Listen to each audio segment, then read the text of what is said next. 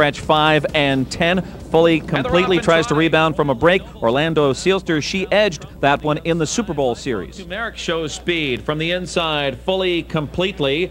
Now they're three deep as they race into the first turn. High po to Merrick, reaching up for that lead with Howard Parker applying tippy taps there fully completely. Mike LaChance on the inside. Tussling early, Royally Noble sweeps up three wide. Now on the outside, challenging third. Fox Valley Trump got away fourth.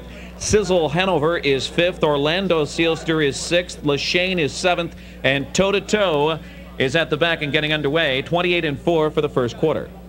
Down the back stretch, and it's High Po to Merrick, still reaching up for the lead and can't clear. Fully completely, and Mike LaChance on the inside, parking out Howard Parker and High Po to Merrick. And they slug it out down the back stretch here. Fox Valley Trump moving through on the inside third. Royally Noble fourth on the outside off the dueling leaders. Sizzle Hanover is now fifth. Orlando Seelster is sixth. Lashane is seventh. And toe to toe, and they were doing just that fully completely past the half in 57 and 2 has so far rebuffed High Po to Merrick, who hangs in there second on the outside, isn't going away. Fox Valley Trump on the inside third. On the outside, Royally Noble now swings to the outside, gets blind switched by Orlando Seelster, who circles up three horses wide now. But LaChance opens up with fully completely. Here comes Orlando Seelster. High Po to Merrick going a big trip. Despite being parked, Fox Valley Trump on the inside, still second now. 127 and 4 for three quarters. They're in the stretch now.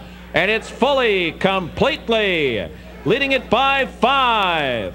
Up on the far outside, Royally Noble. And now a late surge on the inside from Sizzle Hanover.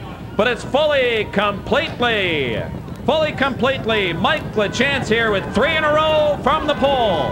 Sizzle Hanover second and Royally Noble third. Mike LaChance obviously loves this Sunday racing three in a row here, and what a monster effort this was by fully completely. A breaker last time at six to five rebuffs tremendous pressure today at five to one. A four-year-old by Armbro goal for Dreamland Farms and Gary Matches.